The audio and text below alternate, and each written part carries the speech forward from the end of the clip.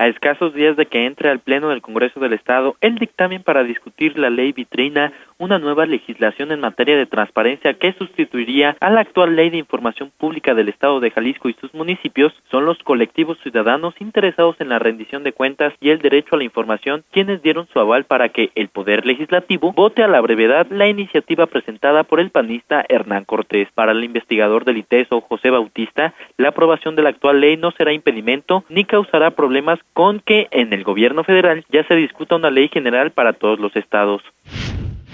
Tenemos una ley en Jalisco pésima, muy mala.